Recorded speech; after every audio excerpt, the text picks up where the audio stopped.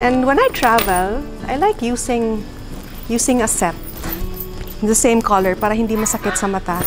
And uh, the reason why I also like uh, our luggage cubes, gusto rin na mag-travel ng mga gangsa.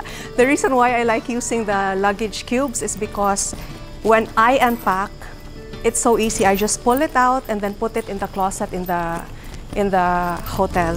Never be one of those people who think that you can just stuff your kalat in the closet and only you will know anyway. Magulo sa utak. So dapat, even if it's a closed, even if it's a closet and nobody really sees, it's nice knowing that inside, everything is as it should be. So see how thick it was and now it's, it's this slim there.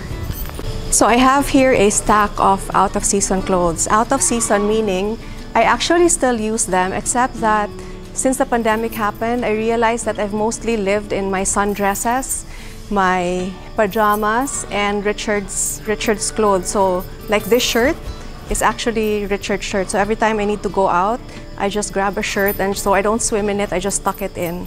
So let's start with this. This is the first style in our luggage cube series. It comes in a set of three and the biggest one, I'll use two sets now. The biggest one is where I will put a bedspread each.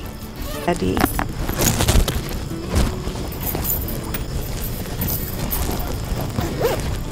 I will use two.